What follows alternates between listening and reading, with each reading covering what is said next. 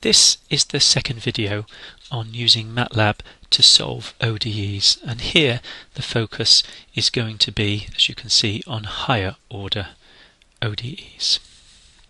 The previous video then focused on solving forced first order ODEs and showed the simple use of MATLAB for solving these and now we're going to focus on higher order ones. We will also briefly remind you how to get numerical solutions from the analytic solutions that we first derive. An example then, here's a second order ODE. You can see it written here as f equals a d2x dt squared plus b dx dt plus cx and we've given a couple of initial conditions.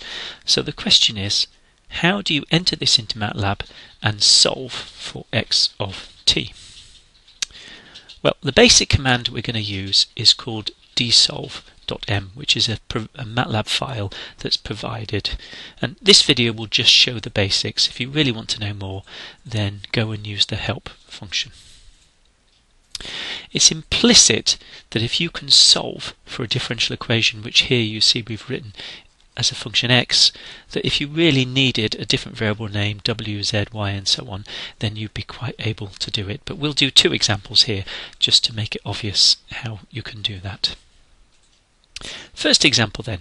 So you can see our differential equation at the top. 4 equals 2 d2x dt squared plus 5 dx dt plus 3x. And again, we've got a couple of initial conditions. Now the first thing you've got to do is define any unknowns as symbolic variables. Now the unknowns that we've got here are going to be the second derivative, the first derivative, and x. So we define a symbolic variable x brackets t and you'll notice here the particular notation where you use x brackets t and that also defines the independent variable as t.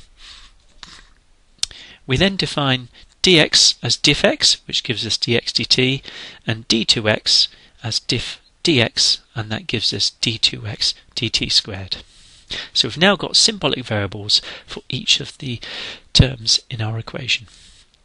And then all you do is plug all of them together, as you can see here. So if you look at the bit in the green circle, which I should use red, which we mark this here, you'll see that this is identical to this equation up here. You'll see the coefficients have just been taken down direct. So 2 times d2x is equivalent to 2 d2x dt squared.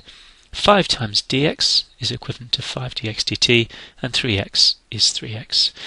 And the other thing you need to notice is this use of the double equals sign wherever you're setting an identity.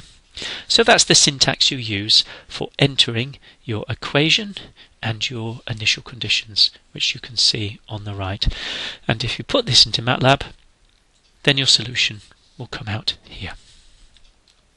Example 2, and this is just to demonstrate that you can use any variable names you like. So here I've written the differential equation as 1 equals d2y dt squared plus 15 dy dt plus 14y and again a few initial conditions on the right hand side.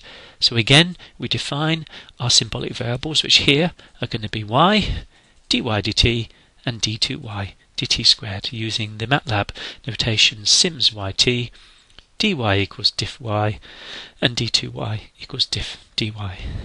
And then we simply use the dsolve statement exactly the same as on the previous slide which you can see here where we simply enter the expression using this MATLAB syntax. So I write d2y plus 15 times dy plus 14 times y equals equals 1. Now the other subtlety we've put in here just just for completeness is you'll notice that I've set one of the initial conditions not to be based at time 0 and I've shown that in the bottom command as well. Example 3. This example is to show that the input function doesn't need to be 1. So here you'll notice we've put sine t equals d2y dt squared plus 5 dy dt plus 8y. So this is a bit like a frequency response.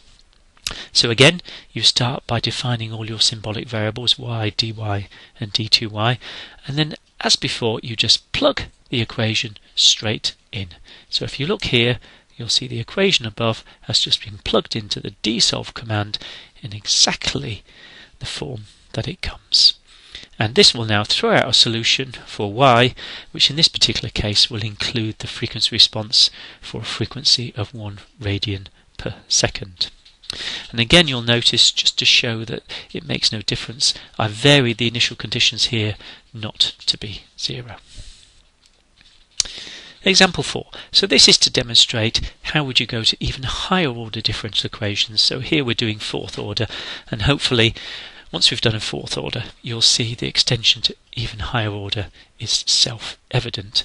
You should also notice that now we need four initial conditions if we want to get the complete solution. So again we start by defining all our symbolic variables.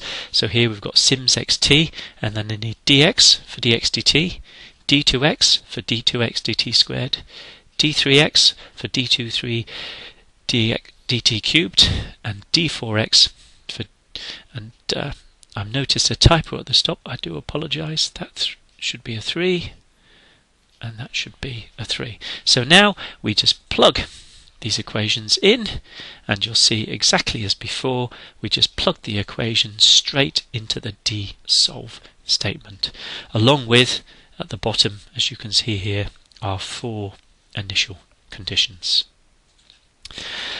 Now 5 this example here is just to show that you don't have to do initial conditions which are in terms of the derivative, first derivative, second derivative and so on. If you want to you can put any four independent initial conditions. So here you'll see all my initial conditions are done in terms of x. I've got x of 0 equals 0, x of 1 equals 0, x of 2 equals 0, x of 3 equals 1. And anybody who's solved these on pen and paper will realize that this is quite normal. So again, we've got our standard statements.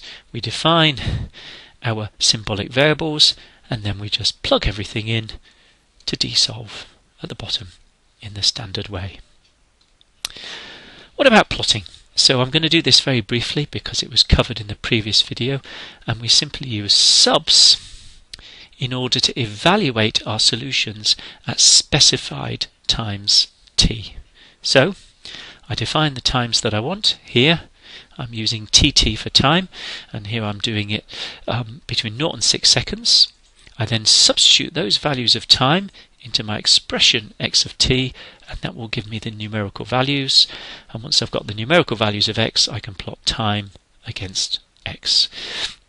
And a reminder here that I've deliberately used tt for time instead of t so that MATLAB doesn't get confused between the symbolic variable t and the numerical values for time. So some MATLAB demonstrations then just to show that this is all straightforward. So I've got a few simple MATLAB windows and we will show you the MATLAB code in action.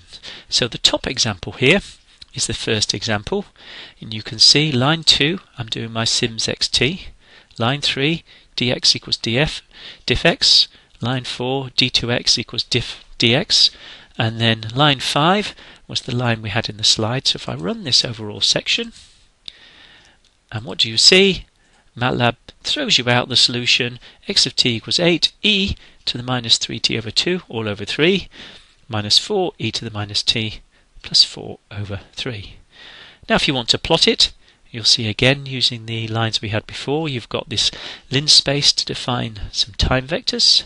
Then I substitute using subs xt tt to get the numerical values of x. And then I just on line 12 plot times against x. So if I run this section, and you'll see the plot appears. So if we now look at 5, so this was the second example we looked at, you'll see we've got syms yt, dy equals diff y, d2y equals diff dy, and there's exactly the equation we'd written down in the notes. Run that, and here you can see MATLAB has thrown out the solution. This one's a bit longer, um, covering a bit more of the page, but it's thrown out the solution for you. If we now go to 6, this one um, was to show, if you look here at line 5, that you can have non-simple input functions. So here I'm using sine t. So again, if I run this section, And the problem you've got here is if you had to do this on pen and paper, it would take you a while because if you look at the solution that MATLAB's thrown out, can you see how complicated this is? Not very nice. I don't think I'd want to do that on pen and paper. And yes, you can simplify it a bit because it's left things like 7 to the power half and so on. But the key thing is, MATLAB's just done it for you. And if you had to do that on pen and paper, it would probably take you half an hour. Finally, we get the fourth example, which is fourth order. So we look at this top section. You'll see we've got the syms x, dx equals diff x, d2x equals diff dx, d3x equals diff d2x, and so on, all the way to diff4. And then lines 5 and 6, we've got the use of the dsolve command. So again, if I put a line space here just so we can be clear what's going on, and then run this section, and you can see here's the solution. And you can see it solved it for you straight away. And then the final section down here was just to illustrate your initial conditions can be any four independent conditions because this is fourth order.